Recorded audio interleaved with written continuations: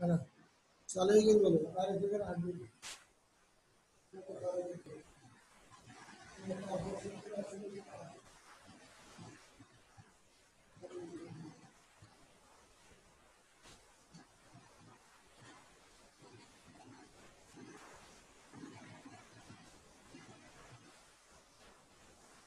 আসসালামু আলাইকুম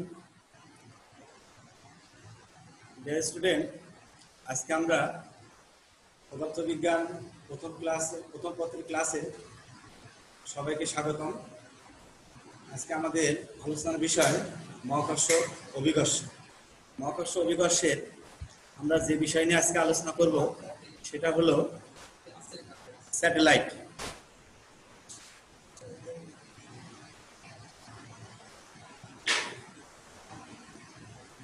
যেটাকে আমরা বাংলায় বলি উপগ্রহ অবশ্যই জানো, আমাদের একটা উপগ্রহ আছে, পৃথিবীর একমাত্র উপগ্রহ, তোমরা জানো, সেটা কি? চাঁদ আমাদের এখন উপগ্রহ বলতে আমরা কৃত্রিম উপগ্রহ নিয়ে কথা বলব, যেটাকে বলা হয় আর্টিফিশিয়াল স্যাটেলাইট আর্টিফিশিয়াল স্যাটেলাইট আমাদের যেগুলো আছে, সেগুলো কি আমাদের এই আর্টিফিশিয়াল স্যাটেলাইটের মাধ্যমে আমরা বিভিন্ন তথ্য আদান প্রদান করতে পারি। বিভিন্ন চ্যানেলগুলো আমাদের কি যে বিভিন্ন চ্যানেলে বিভিন্ন অনুষ্ঠান সম্প্রচার করতেছে, সবই এই স্যাটেলাইটের মাধ্যমে। তোমরা জানো যে আমাদের কিছুদিন আগে বাংলাদেশ একটা নতুন স্যাটেলাইট মহাশূন্যে উৎক্ষেপণ করেছে। সেটা হলো কি? যে বঙ্গবন্ধু স্যাটেলাইট ওয়ান এরপরে আমাদের বঙ্গবন্ধু স্যাটেলাইট টু উৎক্ষেপণের কার্যক্রম শুরু হয়ে গেছে। এই স্যাটেলাইট ওয়ান যদি আমাদের কার্যক্রম শুরু করে, তাহলে আমাদের আর বিদেশ থেকে বিভিন্ন রকম স্যাটেলাইটের জন্য যে আমাদের যতগুলো আছে বিভিন্ন রকম চ্যানেল, এই চ্যানেলগুলোর জন্য অতিরিক্ত টাকা পয়সা আমাদের কি ব্যয় হবে না। আমরা কি করব? অন্যান্য দেশকে তাদের আমাদের স্যাটেলাইটটা ভাড়া দিতে পারব এবং আমাদের বাংলাদেশের অনেক অর্থনৈতিক উন্নয়ন সম্ভব হবে। তো আমাদের উপগ্রহ যেটা উপগ্রহ যে আমাদের বিভিন্ন ইকুয়েশন আছে, এই ইকুয়েশনগুলো আমরা আজকে ব্যাক করব। এর ভিতরে আরেকটা আছে, কি তোমরা হয়তো মনে করতে পারো যে, তোমরা হয়তো মনে করতে পারো যে আমাদের উপগ্রহ তাহলে এটা কি? আমাদের আমাদের যে বঙ্গবন্ধু স্যাটেলাইট ওয়ান যেটা উৎক্ষেপণ করা হয়েছে, এটা আসলে কি আমাদের আর্টিফিশিয়াল আমাদের উপগ্রহ কিনা? আসলে এটা আর্টিফিশিয়াল উপগ্রহ নয় এটা হলো আমাদের ভূস্থির উপগ্রহ, যেটাকে বলা হয় Jio stationery satellite. Jio stationery স্যাটেলাইটের কাজটা কি? এইটার হলো মূল কাজটা কি? যে অন্য স্যাটেলাইটগুলো অন্য যেগুলো আর্টিফিশিয়াল স্যাটেলাইট আছে, সেগুলো পৃথিবীকে কেন্দ্র করে একটা নির্দিষ্ট অরবিটে কি? পৃথিবীর চারপাশে ঘুরবে আর যে স্টেশনারি স্যাটেলাইট, সেও কি? একটা নির্দিষ্ট উচ্চতায় উঠে পৃথিবীকে কেন্দ্র করে ঘুরবে। তাহলে আর্টিফিশিয়াল স্যাটেলাইট আর জিও স্টেশনারি স্যাটেলাইট এই দুটোর ভিতরে ডিফারেন্সটা কি? ডিফারেন্স হলো কি? আর্টি আর্টিফিশিয়াল স্যাটেলাইটের পর্যায়কাল চব্বিশ ঘন্টাও হতে পারে, চব্বিশ ঘণ্টার সব বেশি হতে পারে, চব্বিশ ঘণ্টার সে কি? কম হইতে পারে। যদি চব্বিশ ঘন্টাই হয়, তাহলে আমরা তাকে বলব কি?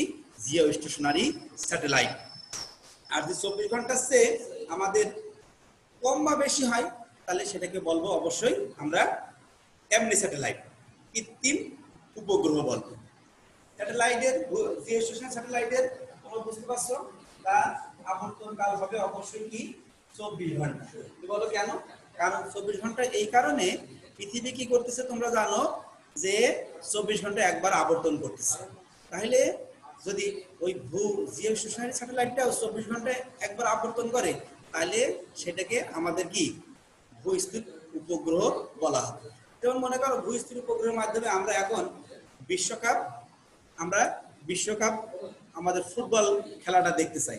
তাহলে সে যদি ওই জিও স্টেশনারিটা যদি আমরা যেখানে খেলা হচ্ছে, মনে করো ফ্রান্সে হচ্ছে ফ্রান্সের ওই যে মাঠে খেলা হচ্ছে, ওই মাঠ বরাবর ওইখানে আমাদের কি, ওইটা কি, জিও স্টেশনারিটা কি, আমাদের স্থির থাকছে হবে। যদি স্থির না থাকে, তাহলে কিন্তু সেই খেলাটা আমরা কি, সম্প্রচার যে হবে, সেটা আমাদের বাংলাদেশে বসে আমরা দেখতে পারব না।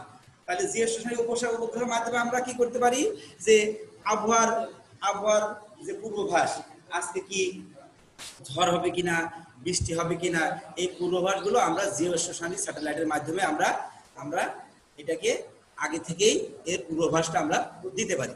এর যে সমীকরণগুলো, সেখানে আমরা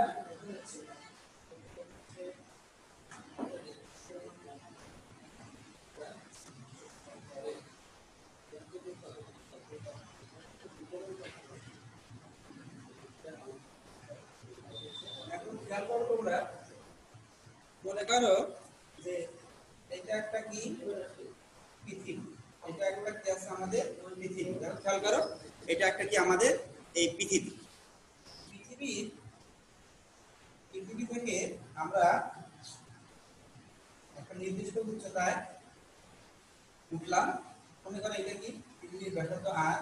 এখান থেকে আমরা এই উচ্চতায় এই স্যাটেলাইটটাকে আমরা পৃথিবীর চারপাশে কি?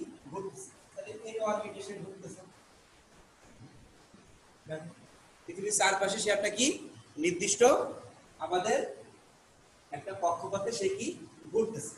পৃথিবী থেকে, পৃথিবীর কেন্দ্র থেকে এই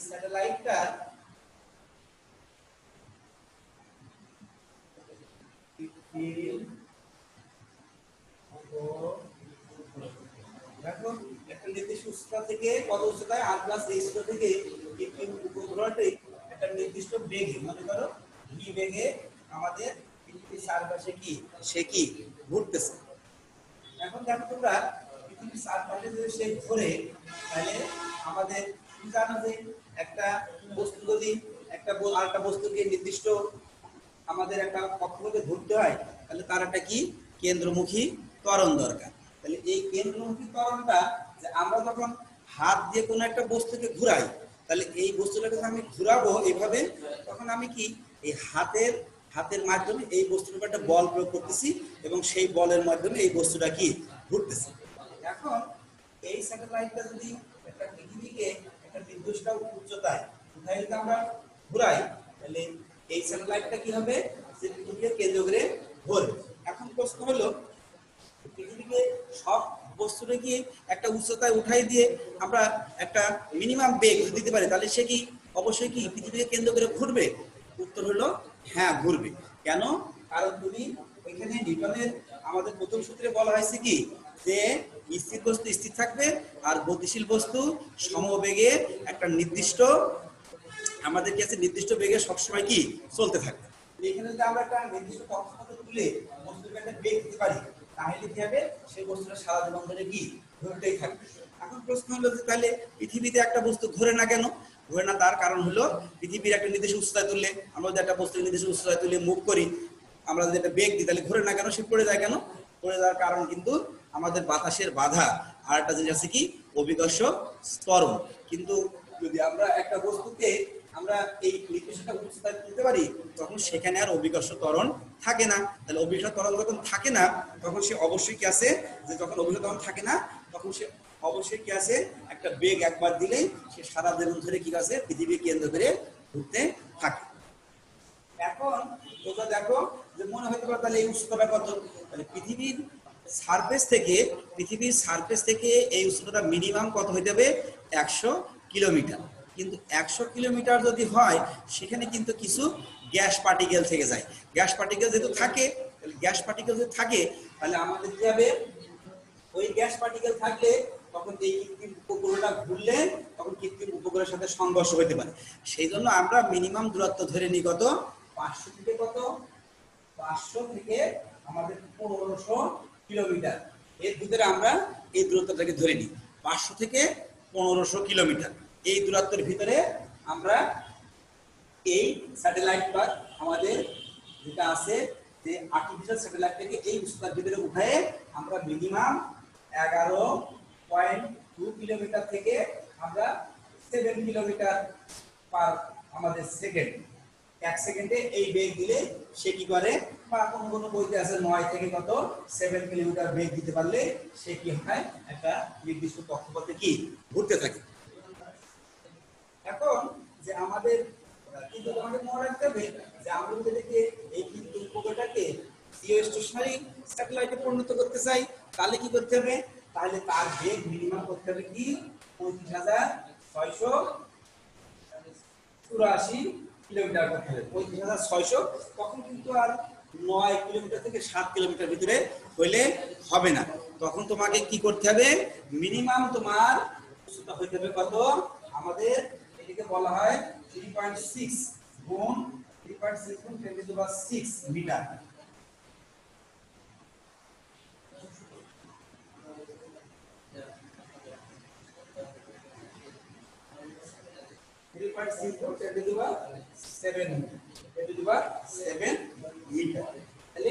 তোমাকে থেকে আমরা মুভ করতে থাকি। নির্দিষ্ট বেগ আছে সেই বেগটা কত? আমাদের 3.1 এটা হলো আমাদের কি আছে? উচ্চতা। আর বেগ কত? 3.1 গুণ 10 টু দি পাওয়ার 3 আমাদের 3.1 গুণ 10 to the power 3 metre per second 3.1 গুণ 10 টু দি পাওয়ার 3.1 গুণ 10 to the power 3 metre per second আর কি হতে কত?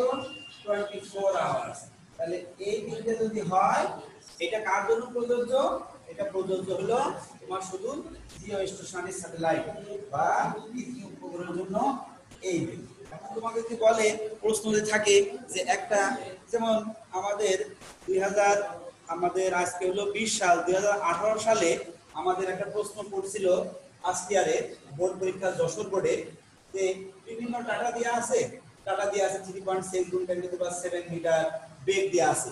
এখন তোমার কাছে প্রশ্ন করেছে তারা, এটা জিও স্টেশনারি স্যাটেলাইট কিনা? তাহলে এটা যদি জিও স্টেশনারি স্যাটেলাইট হতে হয়, তাহলে তোমার এখানে কি উত্তর কি? তোমাকে অবশ্যই কি পর্যায়কাল বের করতে হবে। পর্যায়কাল বের করতে হবে, বেগ বের করতে বেগ তো তারা দিয়ে দিয়েছে, এইচ তারা দিয়ে দিয়েছে। তুমি এইচ এবং ভি দেখেও বুঝতে পারছ যে এর পর্যায়কাল কত হবে? চব্বিশ ঘণ্টা। এটা তুমি কিন্তু বুঝতে পারছ যে আমার পর্যায়কাল কত হবে? চব্বিশ ঘণ্টা। আমি তোমাকে বের করে দেখাবো চব্বিশ ঘণ্টা হয় কিনা। তাহলে এখন এই পর্যায়কাল, বেগ, তারপরে আছে কি এই এইচ এগুলো বের করার সূত্রটা কি? সেটা আমি তোমাকে দেখাবো। এই সূত্রটা হলো দেখো উপগ্রহ বা আর্টিফিশিয়াল স্যাটেলাইট যখন একটা নির্দিষ্ট উচ্চতায় উঠে পৃথিবীর চারপাশে ঘোরে, তখন তার এই এই বস্তুটাকে এই পৃথিবীটা ঘোরার জন্য যে কেন্দ্রমুখী বল, সেই কেন্দ্রমুখী বলের যোগান কে দেয়? মহাকর্ষ মহাকর্ষ বল এই কেন্দ্রমুখী আমাদের বলের যোগান দেয়। তাহলে মহাকর্ষ বল কত?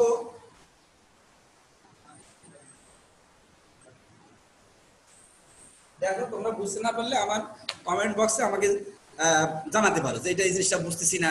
আমি সেই জিনিসটা আবার তোমার বোঝার চেষ্টা করব বা মহাকর্ষ অভিকর্ষ নিয়ে কোনো প্রশ্ন থাকলে সেগুলো তুমি কমেন্ট বক্সে আমাকে জানাবে। এখন দেখো যে আমাদের যে দুইটা বল, তুমি জানো কি? সমান হবে। একটা হলো কেন্দ্র, একটা হলো কেন্দ্রমুখী বল, আর হলো মহাকর্ষ বল। আমি মহাকর্ষ বলটাকে লেট মনে করি মহাকর্ষ বল আমি ধরলাম কি এ বল। আর কেন্দ্রমুখী বল আমি ধরলাম কি এফ তাহলে যেহেতু ঘুরতেছে, তাহলে এফ ওয়ান ইজিক্যাল টু হবে? এফ মহাকর্ষ বল তুমি জানো জি এম এন বাই কি জানো? আর প্লাস এইচ তার কি জানো? হোল আর কেন্দ্রমুখী বল জানো কি? এম ভি স্কয়ার বাই হবে? আর প্লাস কি আছে? এইচ তোমরা এটা জানো? M V square by R plus H এখন প্রশ্ন হলো এমটা কি? এই এমটা হলো স্যাটেলাইটের ভর যে স্যাটেলাইটটা আমরা পৃথিবী সারফেস থেকে একটা নির্দিষ্ট উচ্চতায় তুলেছি, কোন উচ্চতায় তুলেছি? তুমি দেখতে পাচ্ছ, এই উচ্চতায় আমি তুলেছি। তুলে স্যাটেলাইটটাকে আমি এই উচ্চতায় তুলে আমি এখন কি করব? তাকে কি বেগ দিচ্ছি? ভি বেগ দিচ্ছি। এখন সেটা যেদিকে তুমি ইচ্ছা ঘোরাতে পারো, এদিকেও ঘোরাতে পারো ওই দিকেও ঘোরাতে পারো। সেটা তোমার ইচ্ছা। আমি এখন এই জিটা কি? তুমি জানো ইউনিভার্সাল কনস্ট্যান্ট এই জির মান তোমার অবশ্যই জানা আছে। জির মান six point six seven three full twenty কত? মাইনাস ইলেভেন আমাদের নিউটন, আমাদের কি হবে? মিটার স্কয়ার, পার কি হবে? কেজিটার স্কয়ার তোমরা জানা, আগের ক্লাসগুলোতে আমি তোমাকে এই জিনিসটা বুঝাইছিলাম। এখন দেখো জি ইকুয়াল টু 6.673 গুণ 10 to the power 11 newton metre square per কি কেজি স্কয়ার তোমার যদি এটা মুখস্থ না থাকে, তাহলে মহাকর্ষ অভিকর্ষ সূত্র অধ্যায় পড়তে গেলে তোমাকে প্রথমে এই জিনিসটা মুখস্থ করে নিতে হবে। এবং আশা করি তুমি আজকে যদি না মুখস্থ করো, তাহলে এই জিনিসটা তুমি অবশ্যই কি করবা? মুখস্থ করে নিবা আজকে। এখান থেকে জি এর মান আমি বললাম। এখন আমার তো উদ্দেশ্য জি এর মান বের করা নয় উদ্দেশ্য আমাদের ভি এর মান বের করা। এর মান যদি আমার বের করার উদ্দেশ্য থাকে, তাহলে আমি ভি মান করে বের করে দেখো। বুঝতে পারছ?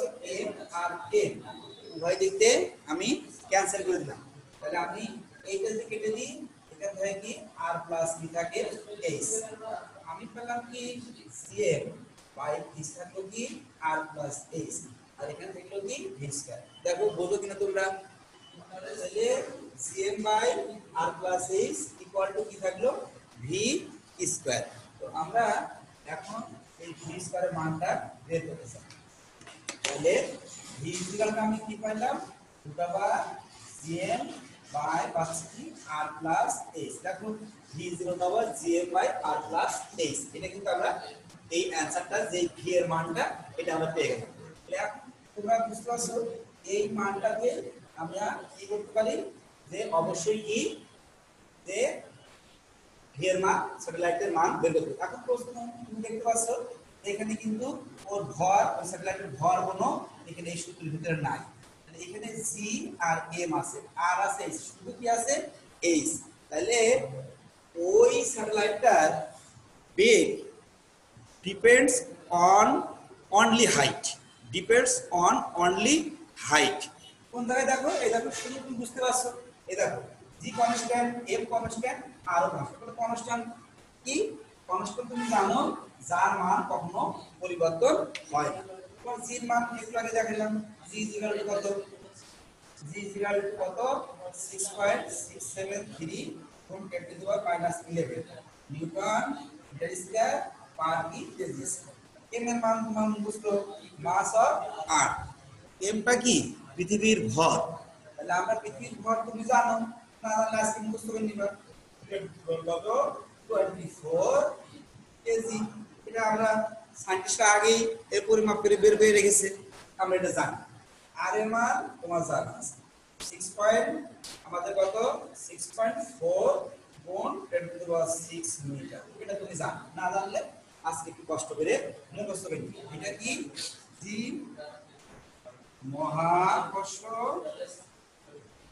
ধ্রুব এম কি? পৃথিবীর ভর আর কি? পৃথিবীর ব্যাসার্ধ। দেখো, মহাকর্ষ, ধ্রুব, পৃথিবীর ভর পৃথিবীর ব্যাসার্ধ। এই জিনিসগুলো কষ্ট করে তোমরা আজকে একটু মুখস্থ করে নিবা। যদি মুখস্থ করে নাও, তাহলে তোমাদের সুবিধা হবে এই আমাদের ফিজিক্সের এই অধ্যায়ের অন্যান্য জিনিসগুলো সলভ করতে তোমারই সুবিধা হবে। তুমি মুখস্থ না করো, তাহলে কিন্তু তুমি এই অঙ্কগুলো সলভ করতে পারবা না। তোমার বিশাল কষ্ট হয়ে যাবে। কারণ তুমি যদি এই জিনিসটা মুখস্থ না করো, অঙ্ক করতে গেলে বারবার তোমার কারণ পরীক্ষার সময় এই মানগুলো দেয়া থাকতেও পারে, নাও দেয়া থাকতে পারে। যেহেতু এখানে একটা নাবোধক নেগেটিভ প্রশ্ন রয়েছে বা নেগেটিভ কথা রয়েছে, নাবোধক কথা। নাবোধক কি? সবই হ্যাঁবোধক না। হ্যাঁবোধক কি যে দেয়া থাকবে, এমন কোনো কথা নাই। দেয়া থাকবে না, তোমাকে ধরে নিতে হবে। দেয়া থাকবে না যেহেতু। যদি বলতে না দেয়া থাকবে, তাহলে তুমি মুখস্থ না করলে। কিন্তু বলেছে ইয়েস আর নো তাহলে তোমাকে যেহেতু ইয়েস আর নো বলা আছে, তাহলে তোমার দেওয়া থাকবে তোমাকে মুখস্থ করতে হবে। তখন তুমি, তখন মনে মনে পরীক্ষা হলে গিয়ে খুব কষ্ট পাবা যে, ইস, আমি তো অঙ্কটা পারি, কিন্তু এই নামটা আমি মুখস্থ, এই মানগুলো তো আমি মুখস্থ করিনি। তাহলে তুমি আর অঙ্কটা করতে পারবে না। তখন তোমার কিন্তু খুব কষ্ট হবে যে, আমি অঙ্কটা পারি, অথচ তুমি এটা, আমি, তুমি এটা লেখি না। তখন তোমার যদি এরকম পরিস্থিতি হয়, তখন তুমি কিন্তু কষ্ট করে কি করবা? এই সূত্রটা অন্তত লিখে রাখবে। যদি মুখস্থ না করতে পারো, এই সূত্রটা লিখলেও, এই ডেটা সূত্রটা লিখলেও, এই অঙ্কটায় যদি আমাদের তিন মার্ক থাকে, তাহলে তোমাকে কিন্তু মিনিমাম আমরা যারা এক্সামিনার হই, তারা কিন্তু তিনের ভিতরে তোমাকে দুই দেওয়ার চেষ্টা করি। যে না, দুই দেওয়া যাবে। বোর্ড থেকে বলা থাকে যে, তুমি জানো যে বোর্ডে কি? এটা কি? অ্যাপ্লিকেশন অ্যাপ্লিকেশন কি কি বোঝায়? প্রথমে আসে হলো নলেজ আন্ডারস্ট্যান্ডিং তারপরে কি? অ্যাপ্লিকেশন দেখো, একটু খেয়াল করো, খুব গুরুত্বপূর্ণ কথা। প্রথমে কি? নলেজ থাকে আন্ডারস্ট্যান্ডিং থাকে অ্যাপ্লিকেশন থাকে। এখন তুমি যদি অঙ্কটা করতে পারো, তাহলে তুমি সরাসরি তিন নম্বর পেয়ে যাবে। যে হ্যাঁ অঙ্ক কারেক্ট তুমি তিন। কিন্তু তোমার অঙ্ক করতে তুমি করতে পারলা না কাউন্টারটা জানো না, তাহলে তোমার কি আছে? এখানে এক এখানে এক এখানে এক। অঙ্ক পারলে টোটাল তুমি কত পেয়ে গেলা?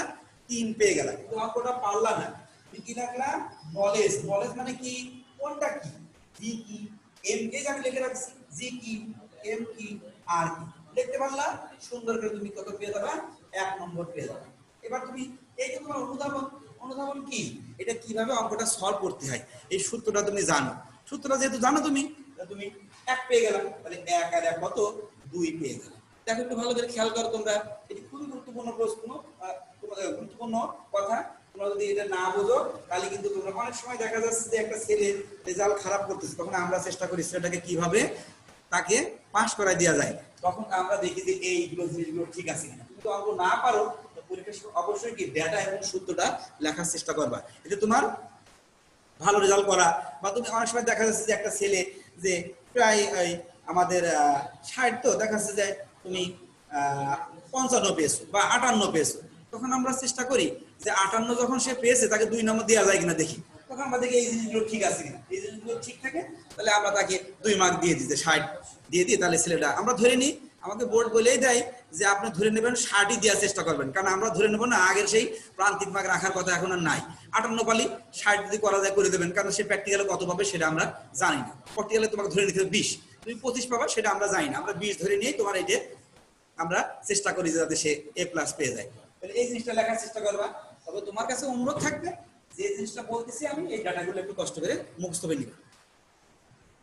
শেষ করতে আচ্ছা ঠিক আছে, ধন্যবাদ সবাই আসসালামু আলাইকুম।